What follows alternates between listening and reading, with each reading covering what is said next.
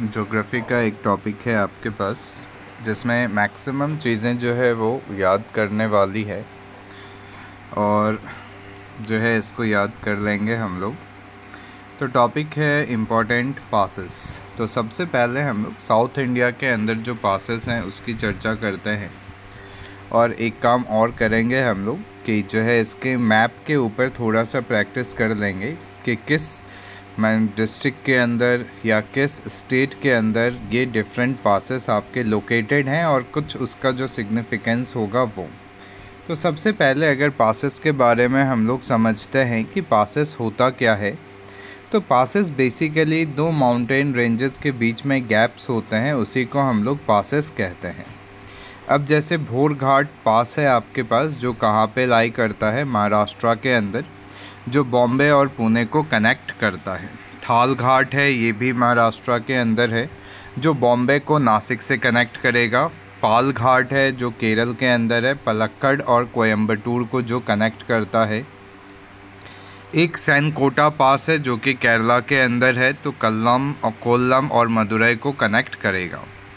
उसके अलावा Himalayan passes हैं, जैसे काराकोरम पास, जम्मू एंड कश्मीर के अंदर, इंडिया और चाइना को कनेक्ट करता है। बुरजिल पास है, जो जम्मू कश्मीर में है। कश्मीर वैली और सेंट्रल एशिया को कनेक्ट करेगा। जोजिला पास है, श्रीनगर और लेह को कनेक्ट करता है जम्मू एंड कश्मीर के अंदर। बारह लाछा ला पास है आपके पास, हिमाचल प्रदेश के अंदर। मंडी को लेह से कनेक्ट करता है।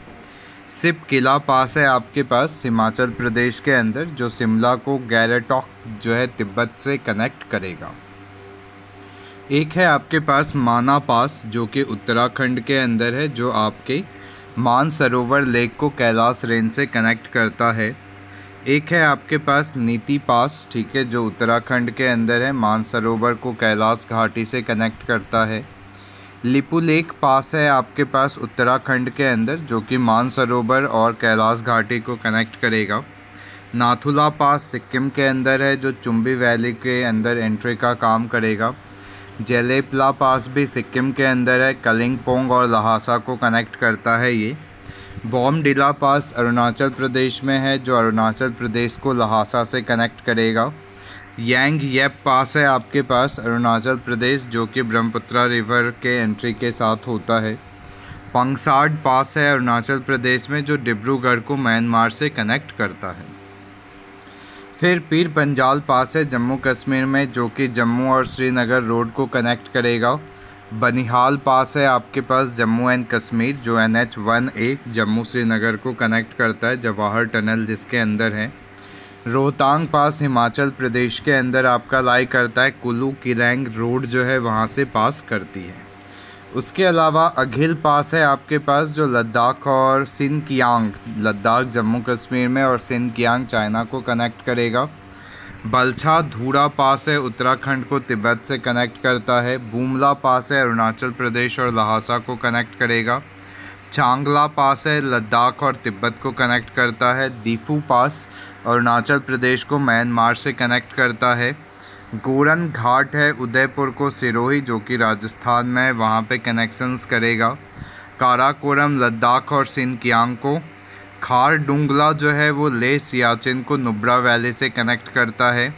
ठागला पास जो है हिमाचल प्रदेश को तिब्बत से कनेक्ट करता है। अब जब ये फिगर्स आप देखेंगे तो इसको जो है काफ़ी अच्छे से आप देख सकते हैं।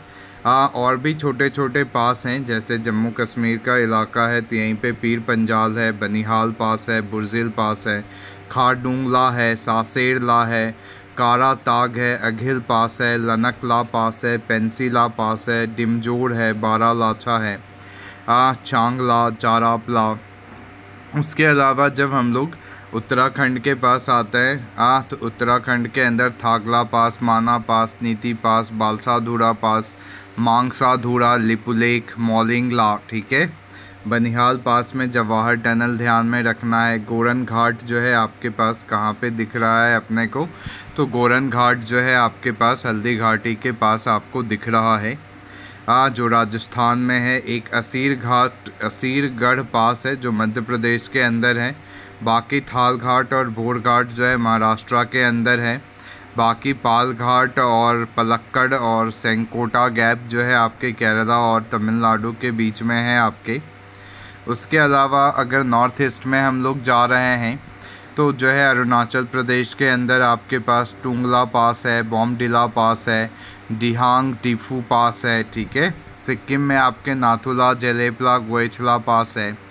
पंगसाई करके एक पास है तो ये सारे जो है बहुत सारे पासेस हैं जो आप मंथ स्टेट वाइज जो है उसको कंप्लीट करने की कोशिश करेंगे। Thank you